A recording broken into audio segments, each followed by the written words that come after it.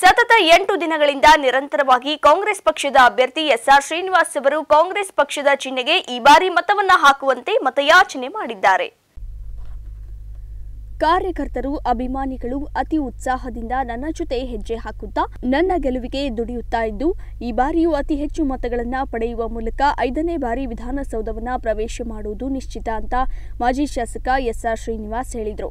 ನಿನ್ನೆಯಷ್ಟೇ ಬಿಜೆಪಿ ಪಕ್ಷವು ಅಭ್ಯರ್ಥಿಗಳ ಘೋಷಣೆ ಮಾಡಿದ್ದು ಗುಬಿ ವಿಧಾನಸಭಾ ಕ್ಷೇತ್ರದ ಅಭ್ಯರ್ಥಿ ಘೋಷಣೆಯಾಗದೇ ಇದ್ದರೂ ಪಕ್ಷದಲ್ಲಿ ಬಲಿಷ್ಠ ಕಾರ್ಯಕರ್ತರನ್ನ ಹೊಂದಿದ್ದು, ಬಿಜೆಪಿ ಪ್ರಚಾರದಲ್ಲಿ ನಿರಂತರವಾಗಿ ಕಾರ್ಯಕರ್ತರಿಂದ ಚಟುವಟಿಕೆ ನಡೆಸುತ್ತಾ ಬಂದಿರುವ ಹಿನ್ನೆಲೆ ಚುನಾವಣೆಗೆ ಯಾವುದೇ ಸಮಸ್ಯೆ ಇಲ್ಲ ಅಂದರು.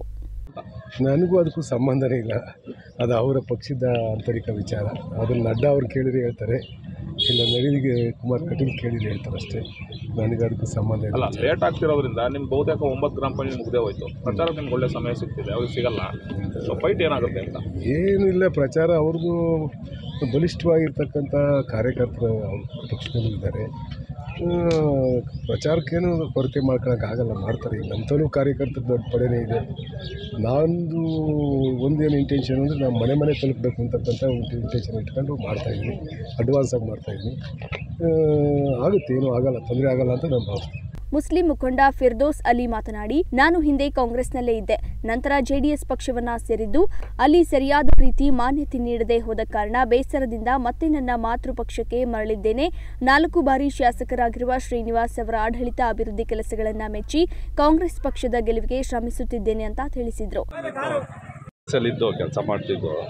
ಬಟ್ ಅಲ್ಲಿ ಕೆಲಸ ಏನೋ ನಮಗೆ ಸರಿಯಾಗಿ ಉಪಯೋಗಿಸ್ಕೊಳ್ಲಿಲ್ಲ ಅಂತ ನಾವು ಆಚೆ ಬಂದಿದ್ದೀವಿ. ಮತ್ತು ವಾಸಣ್ಣವ್ರು ನಮಗೆ ಕಾಂಟ್ಯಾಕ್ಟ್ ಮಾಡಿ ಅವ್ರ ಕಡೆಯಿಂದ ಇಲ್ಲ ಬಾ ಕೆಲಸ ನಮ್ಮ ಜೊತೆಲಿ ಮಾಡೋಣ ನಾನು ಹಳೇದು ಕಾಂಗ್ರೆಸ್ಸಲ್ಲಿದ್ದೆ ನಾನು ಮೈನಾರಿಟಿ ತಾಲೂಕು ಅಧ್ಯಕ್ಷ ಆಗಿ ಕೆಲಸ ಮಾಡಿದ್ದೆ.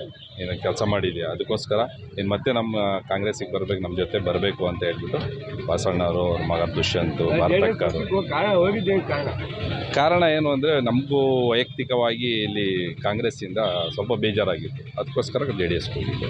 ಅಲ್ಲೂ ಅಲ್ಲಿಂದ ಕಾಂಗ್ರೆಸ್ ಬಂದಿದ್ದೆ ಮತ್ತು ನಮಗೆ ಒಳ್ಳೆ ಬೆಂಬಲ ಸಿಕ್ತು ಕಾಂಗ್ರೆಸ್ಸಲ್ಲಿ. ನಮ್ಮ ನಾಲ್ಕು ಸತಿ ಎಂ ಎಲ್ ಎ ಆಗಿರೋ ಎಸ್ ಆರ್ ಶ್ರೀನಿವಾಸ್ ಹೊಸಣ್ಣವರು ಈಗ ಮತ್ತೆ ನಮಗೆ ಒಳ್ಳೆ ಬೆಂಬಲ ತುಂಬ್ತವ್ರೆ ಕಾಂಗ್ರೆಸ್ ಒಳ್ಳೆ ಟೀಮ್ ರೆಡಿ ಆಗ್ತಿದೆ ಶಕ್ತಿ ಆಗಿದೆ. ನಾವು ಮತ್ತೆ ಗೆಲ್ತೀವಿ ಕಾಂಗ್ರೆಸ್ ಅನ್ನೋದು ಒಂದು ಹುಮ್ಮಸ್ ಮೇಲೆ ಕೆಲಸ ಮಾಡೋಣ ಅಂತ. ಇನ್ನು ಇದೇ ಸಂದರ್ಭದಲ್ಲಿ ಕೆಪಿಸಿಸಿ ಸದಸ್ಯ ತಾತಯ್ಯ ಭರತ್ಗೌಡ ಸೇರಿದಂತೆ ಕಾಂಗ್ರೆಸ್ ಪಕ್ಷದ ಕಾರ್ಯಕರ್ತರು ಪ್ರಚಾರದಲ್ಲಿ ತೊಡಗಿದ್ರು. ಪ್ರಸನ್ನ ದೊಡ್ಡಗುಣಿ, ಅಮೋಕ್ ಟಿವಿ, ಗುಬ್ಬಿ.